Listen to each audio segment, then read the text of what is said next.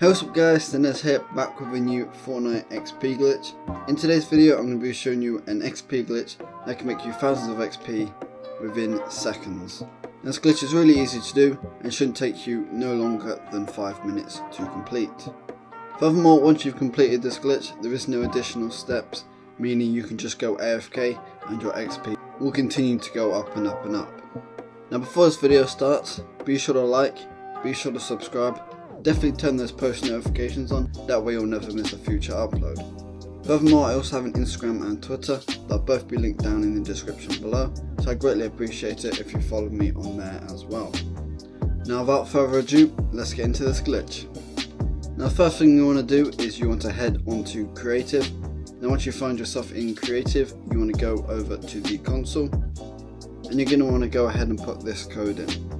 The code is 962708001824. It'll also be in the description as well, so make sure to put that in and then press accept.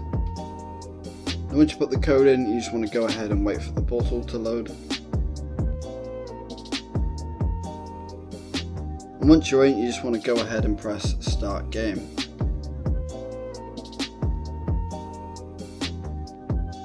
Once you've loaded into the game, you want to get yourself up here. So what you want to do is you just want to jump up here. And then you want to get up onto the roof bit here. once you've done that, you just want to go around here. And you just want to jump onto this door here. And there should be a secret ledge right in front of you here. Once you've found the secret ledge, you just want to go ahead and do an emote. Now once you've done this emote, you'll see that you'll be getting XP every second.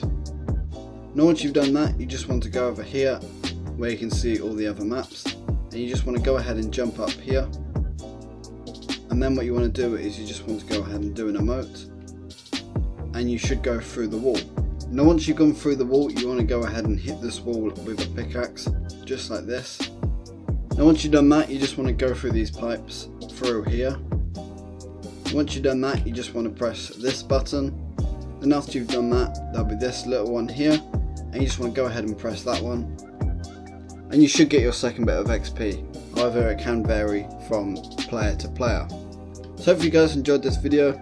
If you did, be sure to like, be sure to subscribe. Definitely turn those post notifications on. And I'll see you guys in my next video. Bye.